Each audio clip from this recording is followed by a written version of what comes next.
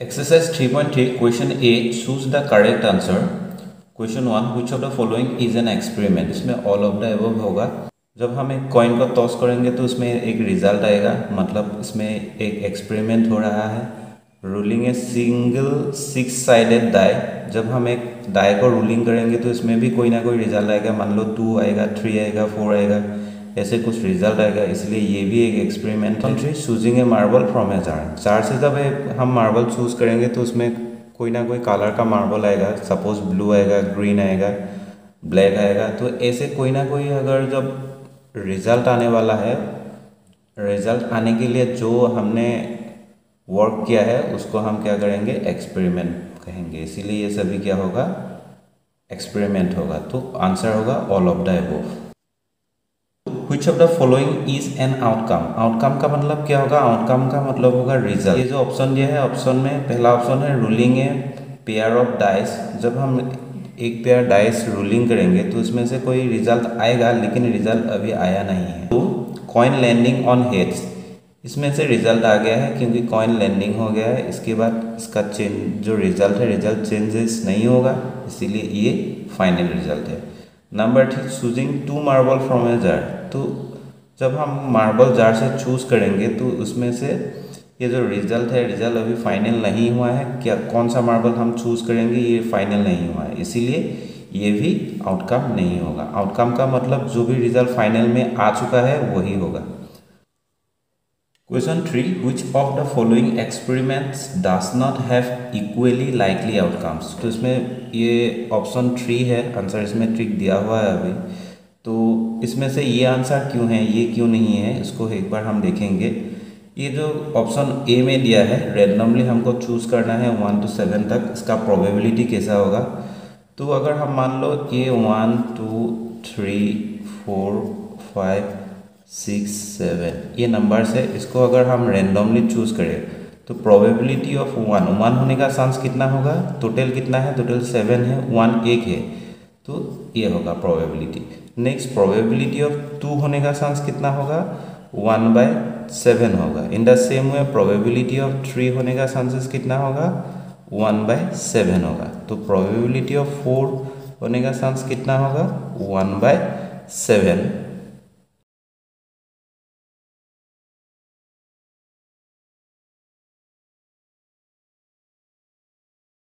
कितना है?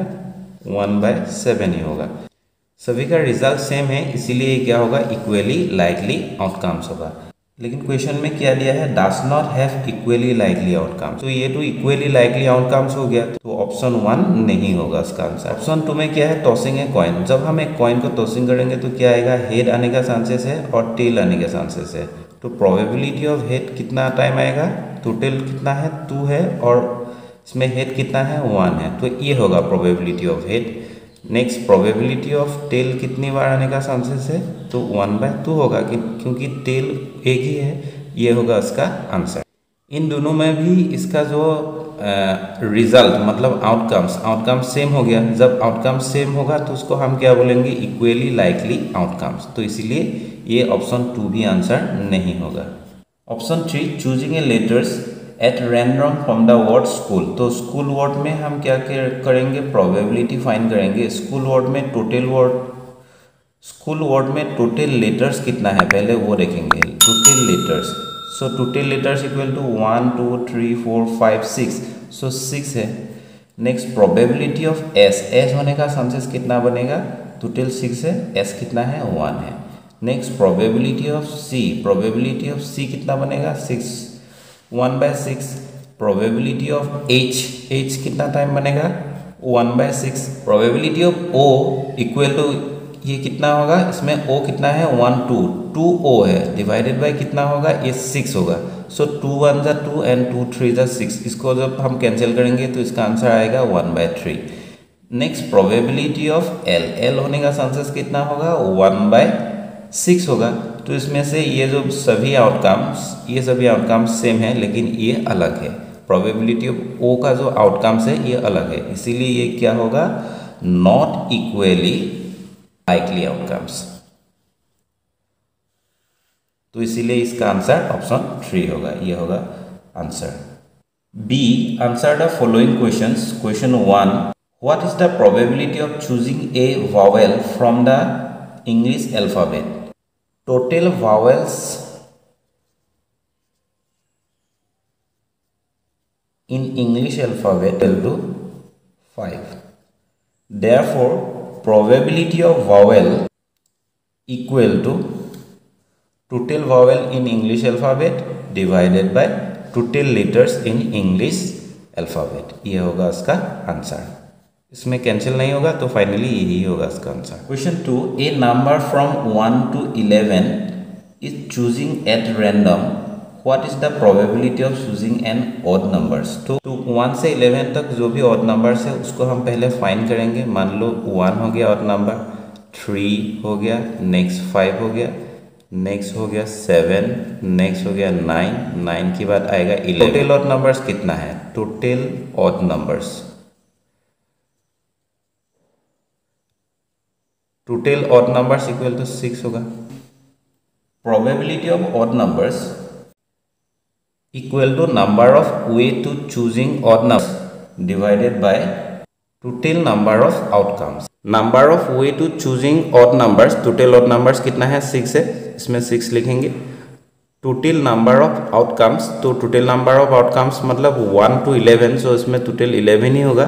तो इससे हम क्या लिखेंगे? नीचे इलेवन लिखेंगे इसमें कैंसिल नहीं होगा तो फाइनली यही होगा हमारा answer question three what is the probability of getting either two four five और six in one throw of a die. So number of way to choosing either 2, 4, 5 और सिक्स मीन्स हम two four five और six इसमें से किसी एक को मिलने का चांस कितना है? उसको उसके बारे में बताना है।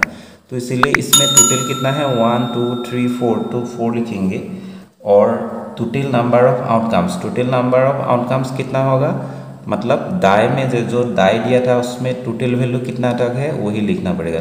ये जो फ्रैक्शन है, ये इस फ्रैक्शन को हम सिंपलेस्ट फॉर्म फॉर्म में कन्वर्ट कर सकते हैं। इसलिए इसको हम सिंपलेस्ट फॉर्म में ले जाएँगे। मतलब इसको कैंसिल करेंगे। टू टू ज़ा फोर एंड टू थ्री ज़ा सिक्स सो इसीलिए इसका आंसर क्या आएगा?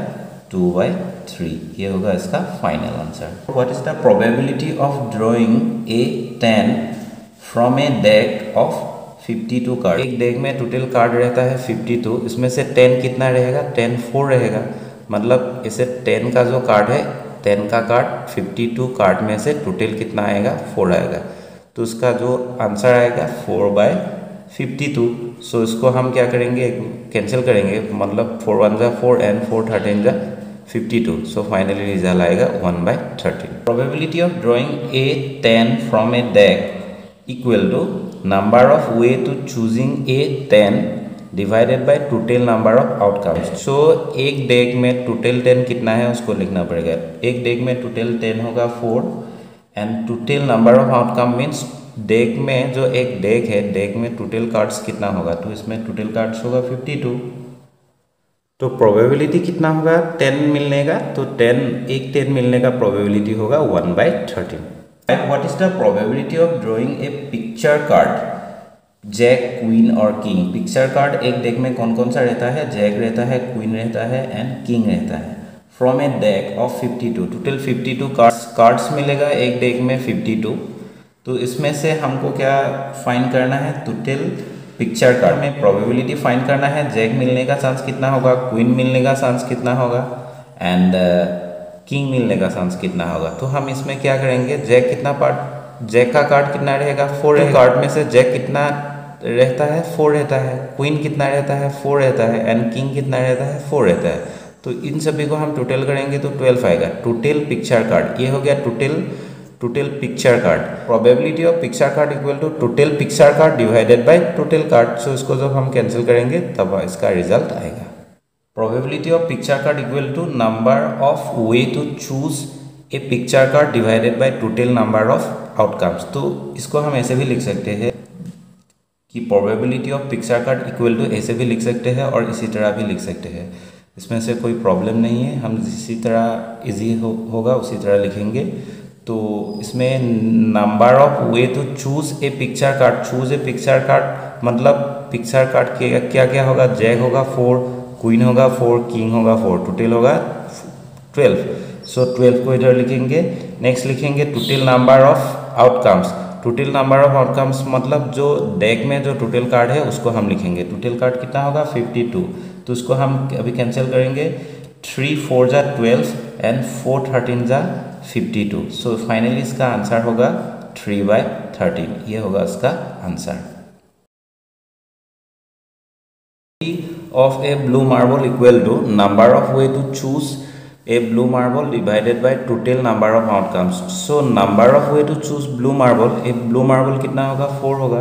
एंड टोटल आउटकम्स कितना होगा? टोटल आउटकम्स होगा ट्वेंटी फोर सो इसको हम डिवाइड करेंगे. फोर वन जा फोर एंड फोर सिक्स जा twenty four so finally answer आएगा वन बाय सिक्स ये होगा answer question two a yellow marble so probability of a yellow marble equal to number of way to choose a yellow marble divided by total number of outcomes. So yellow marble कितना है? Yellow marble six है तो six लिखेंगे. Total outcome कितना होगा? Twenty four होगा. So six one ज़ा six and six four ज़ा twenty four so finally answer होगा वन बाई फोर ये होगा इसका answer question three a red marble इसका सॉल्यूशन ऐसा होगा probability of a red marble equal to number of way to choose a red marble divided by total number of outcomes तो blue marble red marble yellow marble and white marble ये total कितना होगा? Twenty four होगा.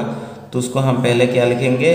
ये red marble कितना है? उसको लिखेंगे रेड मार्बल टोटल है फोर और जो टोटल आउटकम्स मतलब ये होगा ट्वेंटी फोर सो so, इसको हम कैंसिल करेंगे फोर वन ज़ा फोर एंड फोर सिक्स ज़ा ट्वेंटी फोर इसका आंसर होगा one by six question four a white marble so इसका सोल्यूशन ऐसा होगा probability of a white marble equal to number of way to choose a white marble divided by total number of outcomes so total outcomes कितना होगा? Twenty four होगा.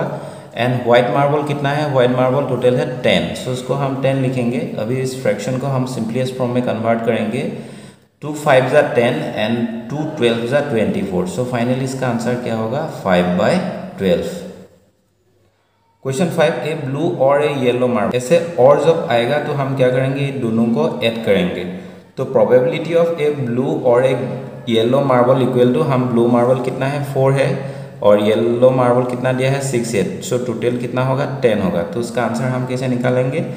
So number of the way to choose a blue और a yellow marble divided by total number of outcomes इसको पहले हम लिखेंगे blue marble so blue and yellow marble total कितना है? टेन है. सो so, टेन लिखेंगे. एंड नेक्स्ट इसका टोटल आउटकम्स कितना होगा? ट्वेंटी फोर होगा. तो उसको कैंसिल करेंगे. ज़ा टेन एंड टू ट्वेल्व ज़ा twenty four so finally answer होगा five by twelve six a red और ए व्हाइट मार्बल सो इसमें हम क्या करेंगे? रेड और व्हाइट मार्बल को ऐड करेंगे. प्रोबेबिलिटी ऑफ़ ए इसको हमें इसे ब्रैकेट ना लिख के ऐसे भी लिख सकते हैं. प्रोबेबिलिटी ऑफ़ ए रेड और ए वाइट मार्बल ऐसे भी लिख सकते हैं. नहीं तो ऐसे भी लिख सकते हैं.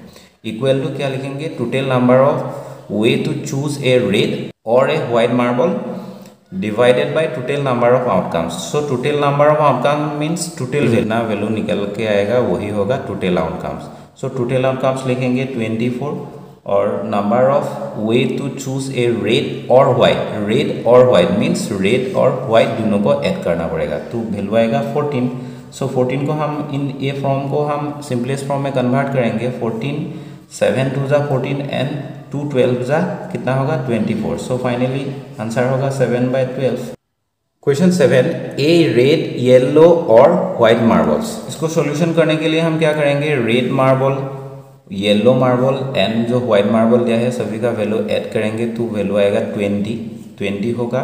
Number of way to choose a red yellow और वाइट मार्बल की जगह पर हम ट्वेंटी लिखेंगे।